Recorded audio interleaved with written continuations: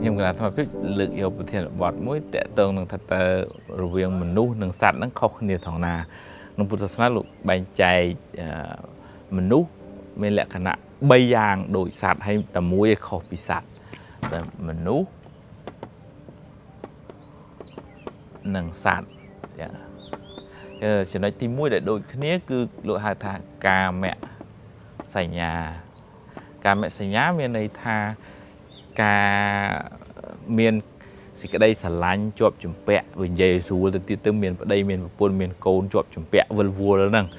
សត្វក៏វាមានប្តីប្រពន្ធតាមសត្វចឹងទៅមនុស្សយើងក៏មានប្តីប្រពន្ធការអីត្រឹមត្រូវអីចឹងត្រូវខ្លះមិនត្រូវខ្លះអីចឹងទៅក៏មានចឹងទៅចឹងអានេះ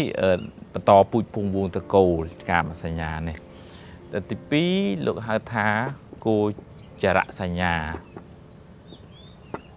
អាហ្នឹង រឿង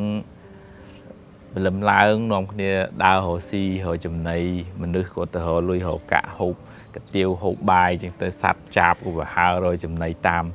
សភាវគតិរបស់វាចឹងទៅអញ្ចឹងទាំងសัตว์ទាំងមនុស្សត្រូវការការដើររកចំណីសម្រាប់ចិញ្ចឹមជីវិតនេះដូចគ្នាដល់ទី3លោកហៅថាមរណៈសញ្ញាមរណៈសញ្ញាមានន័យថាខ្លាចស្លាប់ ឧទាហរណ៍បើគេភ្ជួងយើងថាឲ្យម៉ូតូខ្ញុំបើមិនឲ្យខ្ញុំបាញ់យើងខ្លាចស្លាប់ហើយយើងឲ្យម៉ូតូគេតែឬក៏ថាអូកើតទឹកនោមផ្អែមត្រូវកាត់ជើងចេញយើងយើងកាត់ហើយយើងមិនសុខចិត្តស្លាប់ទេអាហ្នឹងអាហ្នឹងដោយសារអីដោយសារមានមរណៈសញ្ញានេះខ្លាចស្លាប់សត្វក៏អញ្ចឹងបើយើងយកដំបងយើងយកកបិតដេញកាប់វាទៅក៏វារត់ទៅឬក៏វាខំយើងវិញអញ្ចឹងទៅ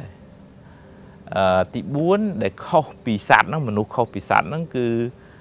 ធម្មសញ្ញាអឺមានន័យថាដឹងខុសដឹងត្រូវសត្វឧទាហរណ៍ថាឆ្កែចោះមេវាខំចំបំបៅដោះតាំងទូចមកការពារវាដល់ពេលវាធំឡើងជួនកាលវាខំម៉ែវាជួនកាលវាយកម៉ែវាធ្វើប្រពន្ធវិញអញ្ចឹងទៅក៏មានបើមនុស្សយើងមិនអញ្ចឹងទេមានកតញ្ញូមានការដឹងខុសដឹងត្រូវមានការអឺ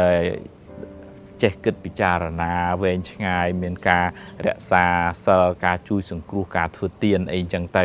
ហើយបើមនុស្សខ្វះធម្មសញ្ញានេះ